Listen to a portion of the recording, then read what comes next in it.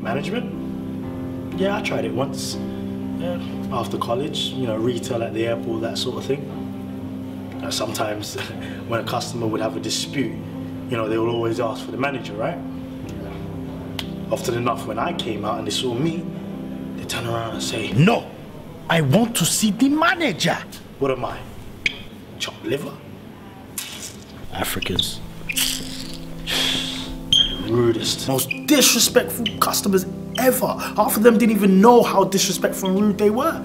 Trust me, I know. I'm married to one. Yeah, I know. Life's just too short. But Rose, my wife, yeah. You know, she once told me that her first love was a white guy. Love of her life. Love of her life, she said. I'm still wondering up to today where the hell that leaves me. you know, she said that he said he wanted to marry her, but she was always worried about kids. Because no matter how pale they came out, they'll still be regarded as black and be treated differently. That's a fact. You know, they'll get stopped more often and then they get arrested more often. So I guess she chose the easy option instead, eh? You know, we always thought we would have lots of kids. So uh, when we found out that Tayo was to be our only child, kind of hit us both hard. Yeah. I mean, having kids, you know, having lots of kids is a man's thing, right? I know it doesn't take much effort, but it is a hell of a lot of fun making them.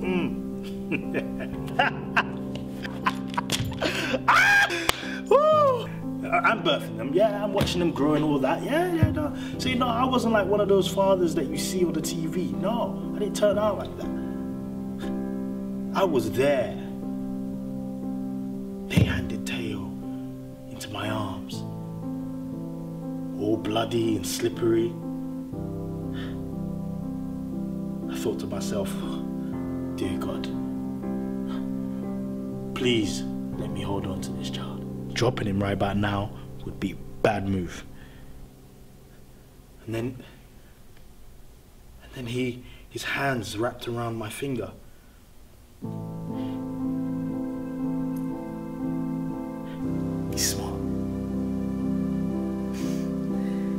Knows he has to hang on.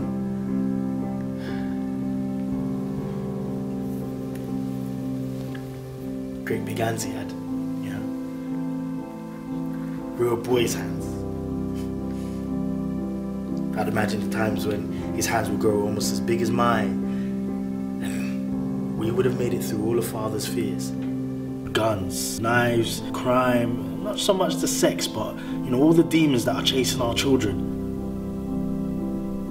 We placed him in God's hand for safety. God.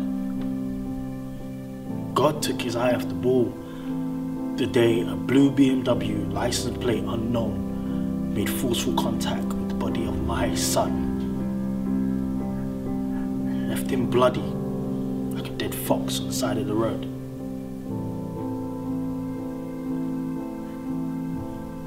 Rose grieved. I could do nothing. You see, that's the father I turned out to be. No, Not a black father, not a useless father, not a father that's not respected, not a father that wasn't there, a father with no son!